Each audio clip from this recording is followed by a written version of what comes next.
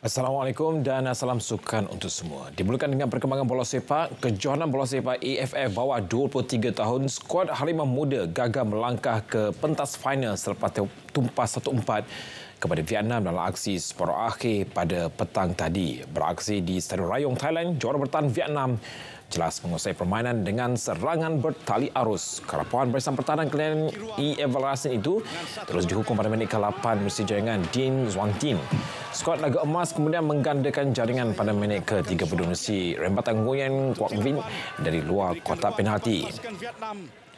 Vietnam semakin selesa mendahului apabila Zuan Tin sekali lagi meledakkan gol buat pasukannya sebelum berehat babak pertama. Bersambung pada babak kedua, Usaha pemain negara untuk mencari gol akhirnya berhasil menerusi tandukan cantik Alif Ikmar Rizal Anwar.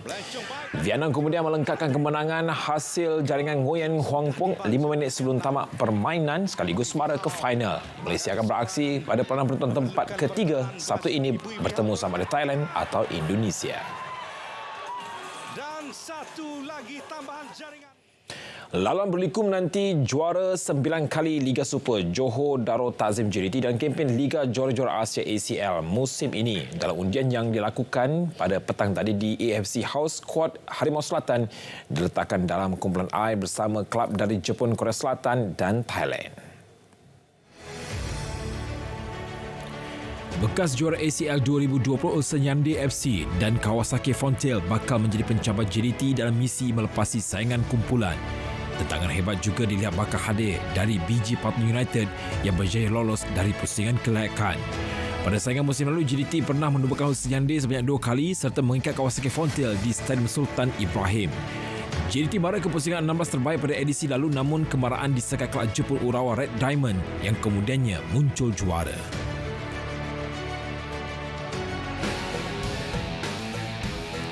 Sementara itu dalam saingan Piala AFC, dua wakil Malaysia berdepan nasib berbeza. Menerusi undian itu, Terengganu FC TFC yang muncul naik juara Liga Super musim lalu diletakkan dalam kumpulan sukar apabila perlu berdepan juara Liga Australia musim lalu Central Coast Mariners dalam kumpulan G. Dua lagi pasukan juga dilihat cukup hebat membabitkan gegasi Liga 1 Indonesia Bali United dan klub Filipina Stadium Laguna FC. Sabah FC pun diundi dalam kumpulan H. Skuad kendali Dato' Ong Kin Sui perlu bersaing dengan naik juara Liga Vietnam musim lalu Haipong FC. Dua lagi pasukan yang bakal menjadi pencabar adalah juara Piala Singapura 2022 Hogang United dan PSM Makassar dari Indonesia.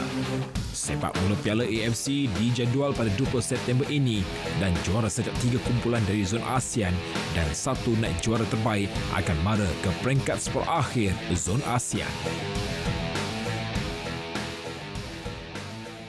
Kejuaraan berbasikal Letu di Langkawi LTDL 2023 bakal mendapat penajaan mencukupi. Perkara itu disahkan Majlis Sukan Negara MSN selaku penganjur.